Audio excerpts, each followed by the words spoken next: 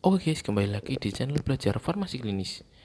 Kali ini kita akan belajar tentang prinsip 5C, konseling dan tes HIV. Kita mulai.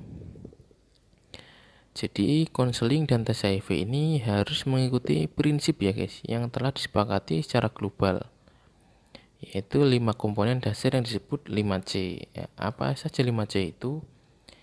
Jadi 5C itu adalah consent, confidentiality, counseling, correct dressel, connection to care, treatment and prevention service.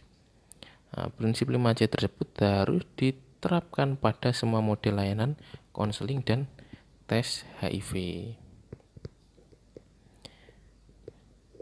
Kita mulai yang pertama C yang pertama itu consent kepanjangannya itu inform consent ya guys.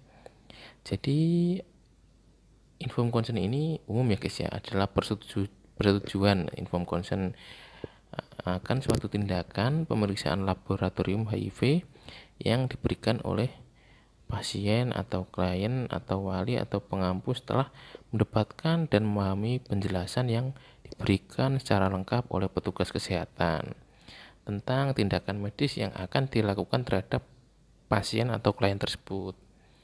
Ya, inform consent.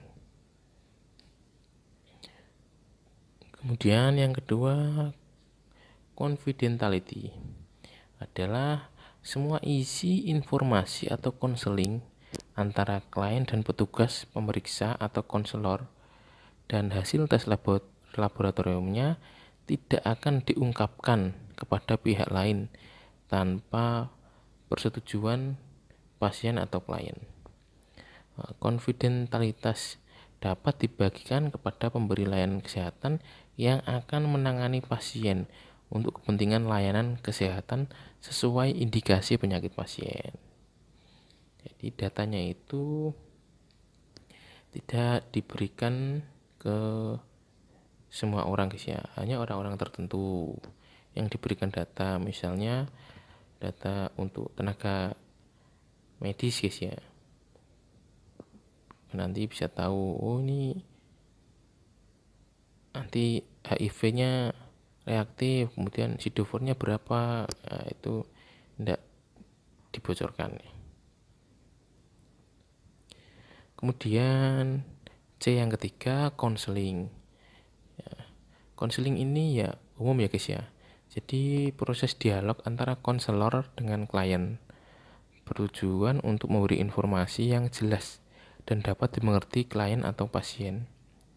Konselor memberikan informasi, waktu, perhatian, dan keahliannya untuk membantu klien mempelajari keadaan dirinya, mengendali, mengenali, dan melakukan pemecahan masalah terhadap keterbatasan yang diberikan lingkungan layanan konseling HIV harus dilengkapi dengan informasi HIV dan AIDS, konseling, pra-konseling, dan tes pasca tes yang berkualitas baik. Jadi perlu dilakukan pretest dan post-test ya guys untuk mengetahui apakah pasien ini paham dengan kondisinya saat ini. Untuk yang keempat, C keempat yaitu correct test result. Nah, jadi hasil tes harus akurat. Layanan tes HIV harus mengikuti standar pemeriksaan HIV nasional yang berlaku. Hasil tes harus dikomunikasikan segera mungkin kepada pasien atau klien secara pribadi oleh tenaga kesehatan yang memeriksa.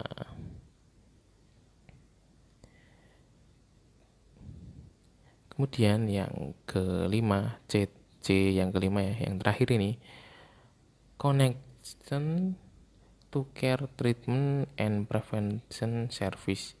Itu pasien atau klien harus dihubungkan atau dirujuk ke layanan pencegahan perawatan dukungan dan pengobatan HIV yang didukung dengan sistem rujukan yang baik dan terpantau jadi contohnya misal di rumah sakit guys ya begitu.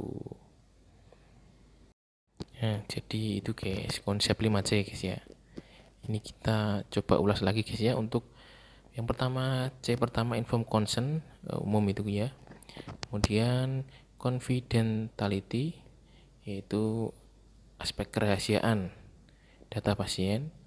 Kemudian yang C ketiga konseling dilakukan dengan cara tes dan post test agar pasien itu tahu kondisi atau keadaannya saat ini. Kemudian correct test result itu hasil tesnya harus akurat. Dan yang kelima connection to care treatment and prevention service. Itu sistem koneksinya itu rujukannya itu harus sesuai. Baik terima kasih. Selesai sudah pertemuan kita kali ini kita ketemu di video berikutnya. Salam belajar farmasi klinis. Semangat belajar